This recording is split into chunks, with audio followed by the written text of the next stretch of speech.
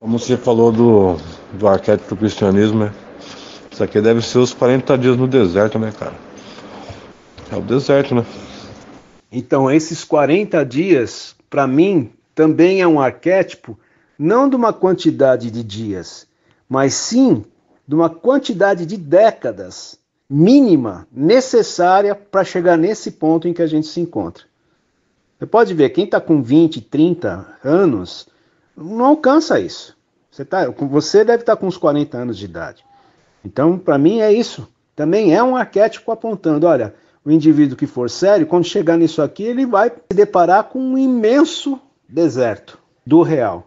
Exatamente isso, cara. É, eu acho que toda essa literatura cristã, eles não são uma história, né? Não são, não, são arquétipos, né, cara? São vivências, né? Desses períodos aí que as pessoas passam, que passaram, né? Que é isso que a gente tá vivendo agora que poucos chegam aqui e isso sustenta. Tem muitos que voltam para trás, né? Fala, pô, cara, igual o, o Cypher, né, no, no, Matrix. Pô, cara, não vou viver nessa vida medíocre, não. Vou viver para lá. Eu quero comer bicho, eu quero ter relação sexual, eu quero me sentir vivo, nem que seja com, com, com falso senso de, de, ilusão, né? Mas eu quero sentir aquilo de novo, cara. Isso aqui não é, não é vida, né? Resumidamente, né? Presos em si mesmos e incompreendidos pelos que estão à sua volta. Essa é a nossa prisão diária dia após dia. Só que o que estamos vivendo é o famoso nadar, nadar e morrer na praia. Nadamos em todos os mares, sensorial, material, espiritual, místico. Estamos aqui mortos nas margens do vazio. Essa é a verdade. Nós ainda não estamos mortos, não, psicologicamente. Ainda não. Precisa ocorrer essa morte psicológica nesse vazio. Só essa morte psicológica pode acabar com esse vazio Acabar com essa estrutura. Com essa estrutura, porque o vazio é, é resultado da própria estrutura, né? É, estrutura compartilhada. É, então, enquanto, tiver, enquanto não tiver essa morte, a gente vai continuar aí. Nós estamos agonizando. Agonizando. Estamos mortos-vivos, né? Mais mortos do que vivos, né? Literalmente falamos, zumbis, né?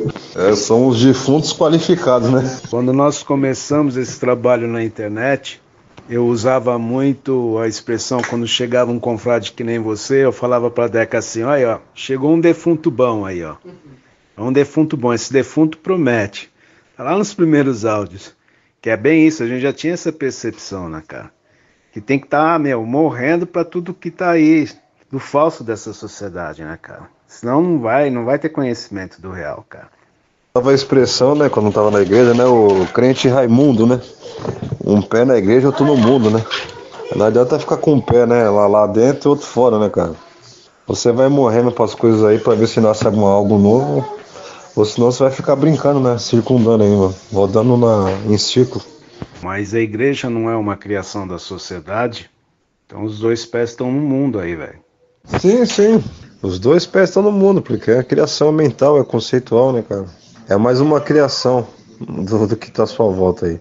Apesar que tudo que a gente tem vivendo, vivido até agora, né, fora o vislumbre né, do estado condicionado que disse que a gente viveu isso aí, fora isso aí, cara, tudo é criação da sociedade, tudo é criação de uma mente, tudo é criação de um terceiro, tudo veio do, de segunda mão, cara.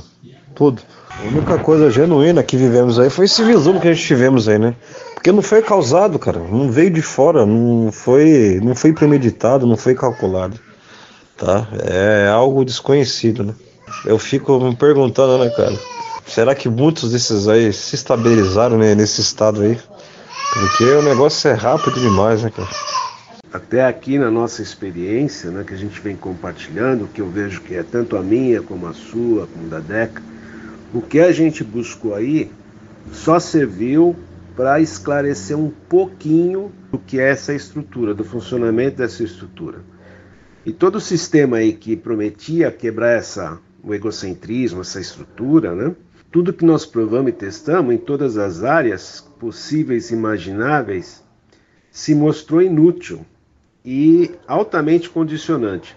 Mas nós sabemos por experiência própria que existe saída do conflito, porque nós já vivemos um, um conflito muito grande num determinado momento da nossa vida e essa possibilidade de sair do conflito instantaneamente, com uma lucidez, com uma clareza, com um senso de integração muito grande, ainda que momentaneamente, no vislumbre do estado incondicionado de ser. Num período em que nós nem sabíamos dessa possibilidade, desse estado incondicionado como uma realidade. Então nós sabemos que tem a possibilidade disso, mas nós não temos nenhuma bússola, não tem mapa para isso. Não tem grupo, não tem escola que leva para isso. Todos prometeram, mas não apresenta isso. E nós sabemos que essa experiência do vislumbre ela ocorreu no momento, vamos dizer assim, de um pré-colapso da estrutura. Ela colapsou só ali, momentaneamente. Mas ela voltou. Por falta de maturidade nossa, talvez. Tá, então nós só temos essa informação por experiência, é o que nós temos. Para mim já é alguma coisa, já é uma bússola que, pelo menos para mim aqui, está impedindo a loucura, né? Ou algo muito mais grave, né? Exatamente. É uma luz no fim do túnel, né? É uma coisa que não tem, é impossível. Não, é possível. Só não sabemos como. Né? Já, é a gente já tem uma, uma referência. Aí eu te pergunto, será possível ou estabilizar-se esse estado incondicional de ser, cara? Será que é possível permanecer assim? Ou a gente vai ficar vivendo de, de doses homeopáticas esse, esse vislumbre aí? Eu creio que não seja por falta de maturidade nossa que ela não se estabilizou, porque não tivemos é, como ter causado esse estado e também não, não, não tivemos como segurá-lo, né? Então eu acho que esse estado ele se estabiliza por si só, cara. Acho que não, não tá no nosso controle, acontece. Né? Quando eu falo por falta de maturidade, é que no período que ocorreu essa experiência, nós não sabíamos nada sobre condicionamentos, nós não sabíamos nada sobre esse estado incondicionado de ser, essa bem-aventurança que não tem como a gente traduzir em palavras. Nós não sabíamos nada disso, muito menos da carga de condicionamentos que nós tínhamos. Então, esses condicionamentos, quando aquilo passou, era o que a gente conhecia, eram os condicionamentos. E aí ficou, que nem você colocou lá, um pé no condicionamento e um pé na busca da repetição desse estado. Né? Hoje eu vejo que existe uma maturidade, uma base, uma compreensão de todo o mecanismo. Então eu não sei o que seria, mesmo que fosse nos apresentado outra vivência momentânea do estado incondicionado do ser. Com certeza isso traria muito mais clareza, maior percepção de tudo. Quem sabe poderia mudar nosso modo até de relacionar com tudo que é.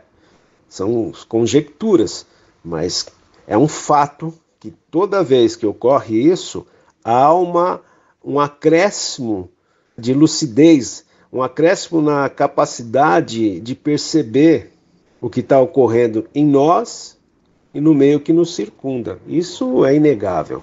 Ah, exatamente. Cada vez que isso ocorre, né, a gente subimos um degrauzinho, né, pode-se dizer, né? Se aproximando mais um pouco, né, da, dessa estabilização, né? É, eu acho que a, a, nossa visão, a nossa percepção, ela, ela aumenta cada vez mais, né? Mas vamos deixando o velho para trás, vamos se desvinculando de bastante coisas, vamos percebendo mais coisas que não percebíamos, vai ampliando a, a, lucidez aí, como você diz. Né? Porque já sabemos que não é pelo esforço, né, cara? Não é pelo esforço, não é pela vontade, não é pelo, pelo caminho, pela prática, mas é, esse dia após dia aí, acho que vai dando a possibilidade, acho que vai preparando o terreno, pode-se dizer assim, para que, para que isso venha acontecer, né? A gente está adubando a terra, né, cara? É, no mesmo no sofrimento, no, no vazio, eu acho que está servindo de adubo, né? De, de, terreno, né? Tem aquele arquétipo dos cristãos também, né? Uma passagem que ele fala, não tem como deitar vinhos novos em odres velhos, né? Não tem como, né? Usando esse arquétipo aí, é o que eu quero dizer que não havia uma maturidade ainda.